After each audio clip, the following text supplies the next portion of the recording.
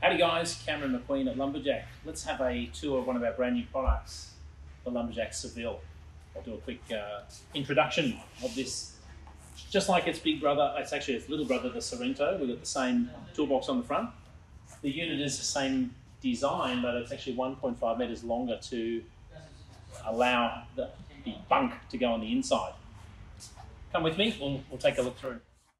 So starting off at the front, we've got our what is now a standard DO35 hitch, a 3.5 ton um, all-terrain hitch, heavy-duty uh, jockey wheel, 750 kilo rated. We've got a aluminium tank now at the front for the diesel heater. So diesel heaters are coming standard.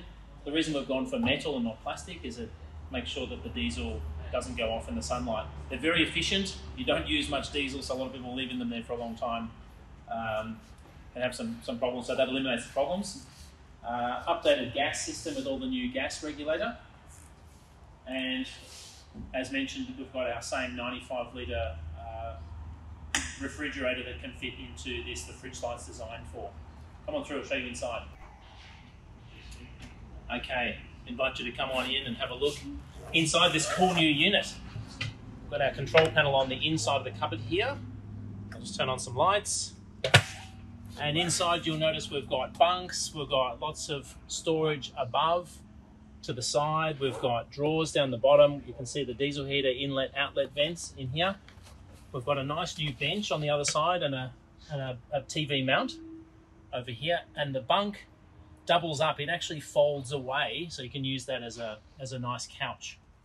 Uh, this side we've swung the old Sorrento bed from north-south, it's now east-west. So plenty of um, plenty of space in here, more cupboard space above the feet. It's taken a long time to get this one right uh, from an engineering perspective. So we think that it's um, it's a great balance between size and and functionality. So let's have a look at the cooker. Same as the Sorrento on the outside. I'll open this one up and we'll set it up. So let's have a look in here. Just like the Sorrento, the last versions of Sorrento. We've got the Dometic 2 burner, so fantastic cooktop. Uh, in here, obviously, gas plugs up to the, the bayonet on the outside, and we have a, a drawer pull out here to uh, get all your goodies on. So what we've got at the back of the Seville, that we don't have on the Sorrento, because we've got the extra metre and a half length, your hot water service is now in a position where it's it's got its own home so it's hanging in here. When you want to use that one, we bring it out onto a bracket at the back, but it's got its own hot and cold plugs here, so it makes it really easy to, uh, to get going. There's also an extra gas bayonet that uh, gets installed down the bottom here. So really easy to, to jump in your hot water. And of course, 240 is standard on the Seville, as with all our units now. So pull up to a, a caravan park or at home, you can just make sure it's plugged in, battery's fully charged, ready to go let's have a look at the kitchen on the Seville at the back here. As a lot of you will be familiar with, the, the, latest iteration of Sorrento, Series 2, has a, a new design. It's got the lift-up rear door for the kitchen. This extra seal on the outside has so far been absolutely bulletproof. We've got another weather strip on the inside. So what we've got now is a really well sealed up kitchen area. Uh, and this is massive, guys. It's another um, 25 centimeters wider than a Sorrento. So this whole kitchen space with um, updated bench tops.